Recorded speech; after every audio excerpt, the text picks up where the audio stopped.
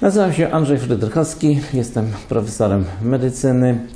Zajmuję się leczeniem chorób przewlekłych, chorób, gdzie medycyna klasyczna, praktycznie rzecz biorąc, nie potrafi nic dokonać, czy prawie nic dokonać. Problemem, który dotyczy bardzo wielu osób, to jest nadciśnienie.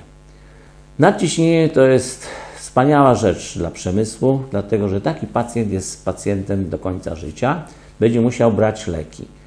Ale co leki robią? Tylko i wyłącznie obniżają ciśnienie, czyli leczymy tylko i wyłącznie objaw. Oczywiście ideałem by było znaleźć przyczynę nadciśnienia i ją wyeliminować. Medycyna akademicka zna taką przyczynę, to są choroby nerek i zwężenie tętnicy nerkowej, ale to jest mały procent. Większość pacjentów wrzucamy do worka, mówiąc nadciśnienie samoistne.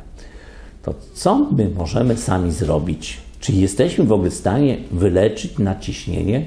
Oczywiście, proszę Państwa, że jesteśmy w stanie, jeżeli podejdziemy w sposób holistyczny, czyli podejdziemy, poszukamy przyczyny.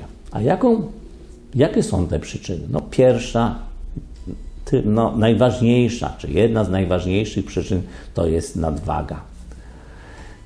Jeżeli zaczniemy walczyć z wagą, obniżać masę ciała, proszę Państwa, ciśnienie zacznie samo nam się yy, zmniejszać. Leki będziemy mogli redukować, ale dojdziemy do tego, że będą one nam zupełnie niepotrzebne.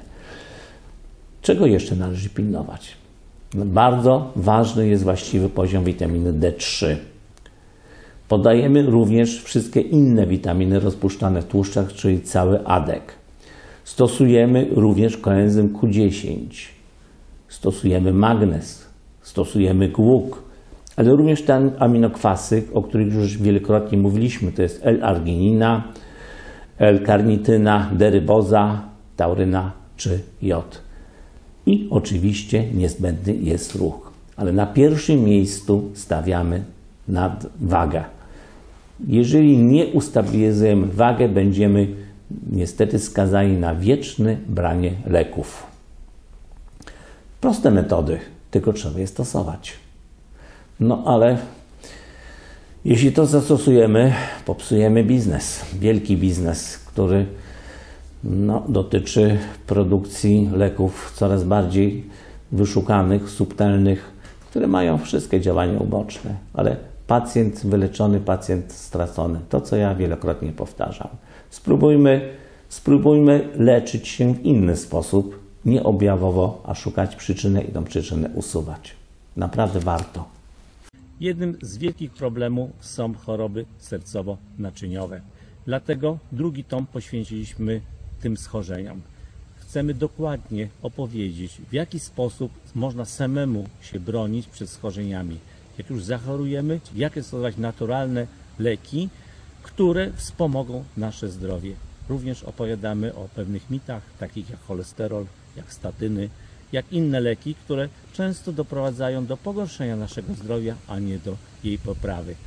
Czytelnicy znajdą w tym drugim tomie wiele bardzo praktycznych porad, w jaki sposób wspomóc działanie naszego mięśnia sercowego, w jaki sposób możemy oczyścić naczynia, w jaki sposób nie doprowadzić do powstania miażdżycy, jakie badania należy wykonać, nie słynny poziom cholesterolu, a zajmiemy się tym, co, co, czym jest homocysteina, co to jest CRP i innymi podstawowymi badaniami.